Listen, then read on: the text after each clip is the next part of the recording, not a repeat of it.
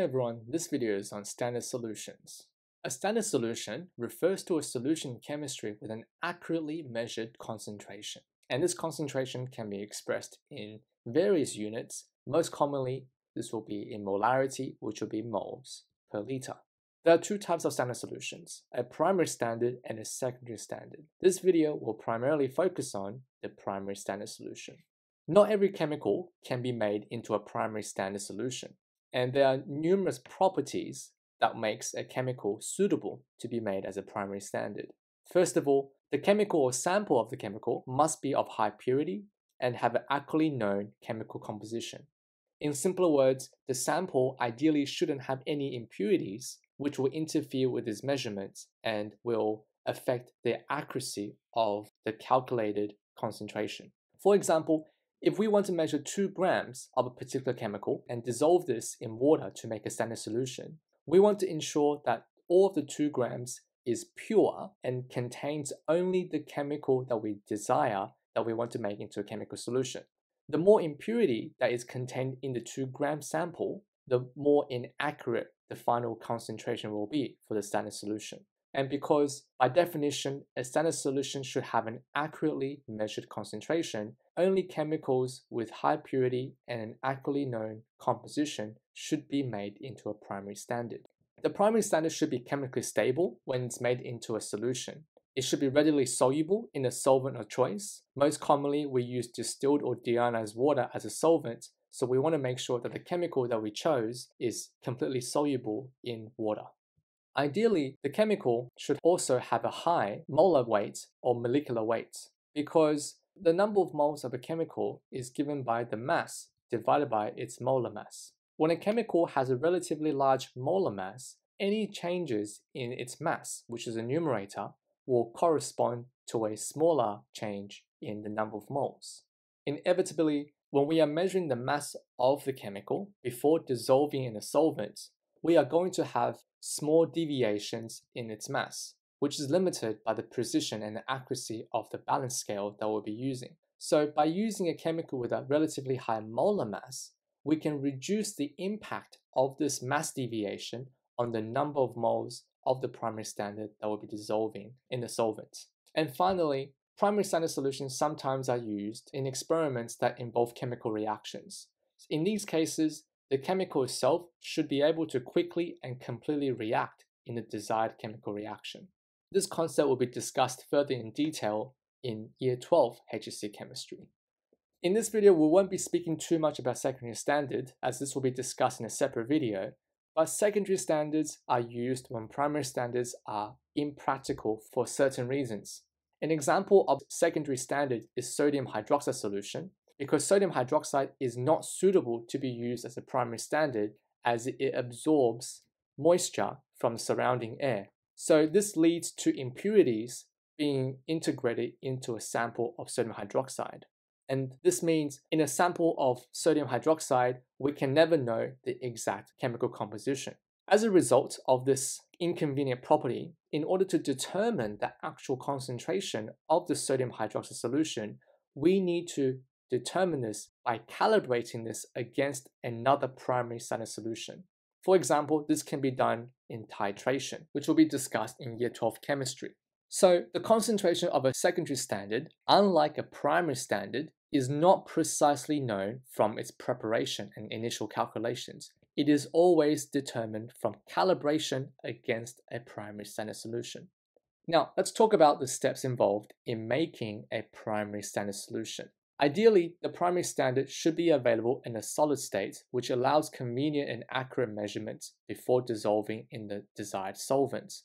So step one is always to perform the relevant calculations so we know exactly how many grams or milligrams of the chemical we want to dissolve in the solvent later on. So we'll measure this in the beaker and then followed by stirring to encourage full dissolution and we'll then add the dissolved solution from the beaker into a volumetric flask. And in this volumetric flask, we'll be topping up with the solvent up until the indicator mark in the flask, followed by adding the stopper and inverting to homogenize the solution. We'll talk about each step in detail now. In the making of a standard solution, we always use a glassware called volumetric flask. and volumetric flasks are used to measure the accurate volume of liquids. Instead of using measuring cylinders and beakers to measure volume of these solutions, volumetric flask will always offer more accurate volumes and as a result more accurate concentrations because concentration is dependent on not just the moles of the standard we're adding but also the volume of solvent we are adding into the flask. So to reiterate, when you're making a standard solution, you should never use a beaker or measuring cylinder to measure the volume of the solvent as these will lead to more inaccurate concentrations compared to when you're using a volumetric flask. Volumetric flasks come in various sizes. More commonly, in school laboratories, you will find them in 50 milliliters, 100 milliliters, 250, 500, and 1000 milliliters. Which volumetric flask you're using depends on the volume of the solution you want to make. Let's use an example to go through each of the steps of making a primary standard solution. Let's say we want to prepare a 250 milliliters solution that has a concentration of 0.0500 moles per liter of sodium hydrogen carbonate, which has the formula of NaHCO3. The first step is to weigh out the sodium hydrogen carbonate that, that is available in a solid form. We know the volume and the concentration of the solution, so by multiplying the two together, we'll be able to calculate the number of moles of sodium hydrogen carbonate that we want to first prepare. 0.0500 times by 0.25 liters, and this gives a number of moles of 0.0125. Now, keep in mind, on the balancing scale, we will not be able to measure the number of moles. So we need to convert the moles into the corresponding mass by multiplying the moles by the molar mass of the compound, which is sodium hydrogen carbonate. So 0.0125 multiplied by the molar mass of sodium, which is 22.99, plus the molar mass of hydrogen, 1.008, plus the molar mass of carbon, and then plus the molar mass of three oxygen atoms.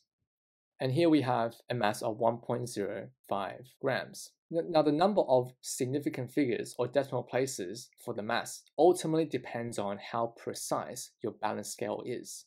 So here, the diagram shows the mass of 1.325 grams, which is actually a lot more precise compared to the two decimal places mass we calculated. If your balance scale allows for three decimal places, we will actually want 1.050 grams of sodium hydrogen carbonate. In this instance, we've weighed out way too much sodium hydrogen carbonate, so what you will do is to use a metal or plastic spatula to remove some quantity of sodium hydrogen carbonate until the mass on the scale matches what you've calculated, which is 1.050 grams. Once we've measured the correct quantity of the primary standard, we'll then add distilled water slowly into the beaker to avoid any splashes. We want to avoid splashes because this will potentially lead to loss of the sodium hydrocarbonate that we carefully measured out. In the making of a standard solution that is using water as a solvent, you want to always use distilled or deionized water because in here, all of the common mineral ions are removed, such as sodium, magnesium, and calcium. These ions can sometimes interfere with the chemical that you're dissolving in the solvent, which will affect the final concentration.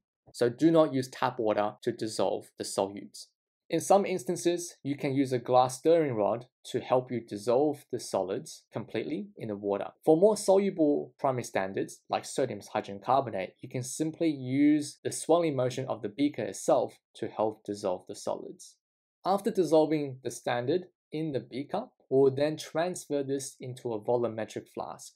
Remember, you should always use a volumetric flask to measure the volume of the solution when you're making a primary standard. We only use the beaker in the beginning to help us initially dissolve the primary standard. We are not using the beaker to measure the final volume of the solution. Now, in this example, we wanted to make 250 milliliters of sodium hydrogen carbonate solution. So we want to use a volumetric flask that has the same volume, which is 250 milliliters. Before we use volumetric flask, make sure it's thoroughly cleaned with distilled water. We don't want any other unwanted chemical inside the flask when we're adding the sodium hydrogen carbonate. We always use distilled or deionized water to rinse the flask because we'll eventually add distilled water to the flask to make the solution in the very next step. Due to the narrow opening and the neck of the flask, we always use a plastic or glass funnel to help the transfer from the beaker into the volumetric flask. After the transfer is completed, you should always use distilled water to rinse the funnel and the beaker involved in the transfer. This is to ensure that all of the sodium hydrogen carbonate is completely transferred from the beaker into the flask without any left behind. This is what we call quantitative transfer. And of course, after rinsing, we, you want to discard the washings into the flask rather than the sink. After quantitative transfer, you will then continue to add distilled or deionized water until the water level is approximately 1 centimeter below the indicator mark on the flask. The indicator mark on the volumetric flask indicates the corresponding volume that is labeled on the flask. So for this particular flask, this engraving here will mark 250 milliliters. When the water level approaches the engraving, we want to start adding the distilled water dropwise by using a plastic dropper we keep adding until the bottom of the meniscus reaches the engraving. This is the point where you stop adding the solvent and we will stop up the volumetric flask. So again, we want to keep adding the solvent until the bottom of the meniscus is aligned with the engraving. And you will check for this by looking at the engraving at the same eye level. So do not look from above or below the indicated line to avoid any parallax error. The last step is to add the stopper to the volumetric flask and invert the flask up to 10 times in order to homogenize the solution. Once you've done this, make sure you label the flask with the preparation date of the actual primary standard, the substance that was added to the solvent, so in this case it will be sodium hydrogen carbonate, and the concentration, which is 0.0500 mole per liter. Okay, let's go through some examples on how to calculate the required mass of the primary standard that we are adding to the water for making a solution. We want to prepare a 250 milliliter sodium chloride standard solution that has a concentration of 0.1 mole per liter. So, of course, if this is the volume that we desire, we'll be using a 250 milliliter volumetric flask.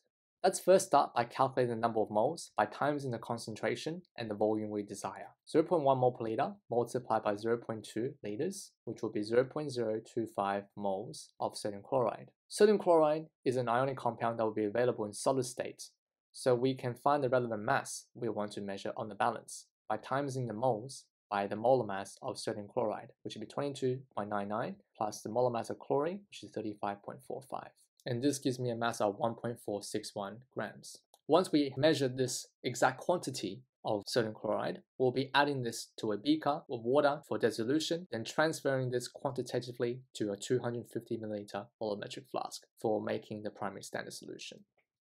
Sometimes you'll be asked to dilute a already made stock solution to prepare a more diluted version of the same solution in a volumetric flask. So we want to dilute a 2 mole per liter hydrochloric acid solution to prepare 100 milliliters of hydrochloric acid that has a 0.5 mole per liter concentration. So we want to prepare 100 milliliters. So what volume of volumetric flask do you want to use? The correct answer will be 100 milliliters.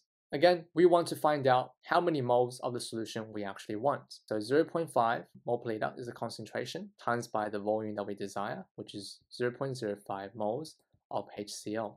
In contrast to the previous example, the HCl in this instance is available in a solution form.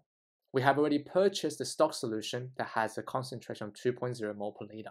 So instead of converting this moles into mass, we I want to convert this into the correct volume that I want to transfer from the 2 mole per stock solution. We know that moles equals the concentration times by the volume, so the volume is equal to the moles divided by the concentration. The moles I want to transfer is 0.05 moles, divided by the concentration of the stock solution is 2.0. So this is equivalent to 0.025 liters, which is 25 milliliters.